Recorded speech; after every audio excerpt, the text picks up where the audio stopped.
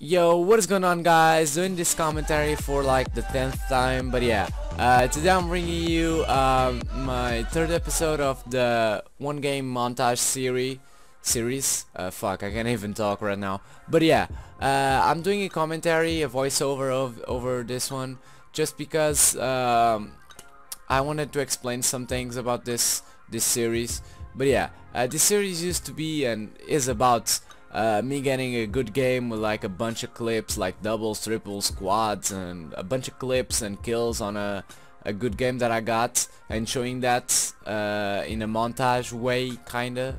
Uh, but I decided to change it a, little bit and from now on either I get that kind of game where I get a lot of clips or I when I play against a, a clan of tryhards uh, which was the case in this game. We're playing a three-man party, this Aura clan or something. Uh, and uh, I get a really good game against them and I shut them down. I'll post that kind of gameplay. Uh, but yeah guys, I know this isn't like competitive or anything, this is team deathmatch and uh, I know all of that, it's not very competitive, but I, I think we had a good match. For once, my enemies didn't leave when they were getting shut down because I was completely destroying them but my teammates were getting uh, butt raped. I had a, a party, a guy in my party but uh, he wasn't doing too much, he had a bad game so I had to carry the team to the victory. I think I got 54 kills uh, with the OSA. I was playing non-lethals, uh, just showed you the beginning to show you what kind of guys we're playing against.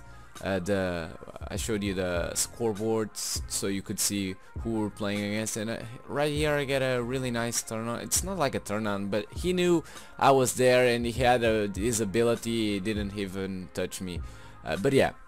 Uh, uh, you, as you can see I'm not playing with the NV4 Fallout which is the gun you've been seeing from me the most in my latest videos me getting nukes with it.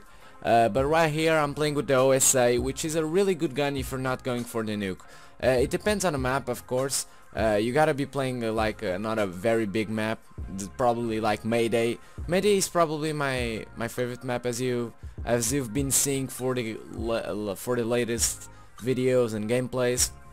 I've gotten a bunch of nukes, and my best nukes uh, have been on uh, on uh, what's this map called Mayday. But yeah.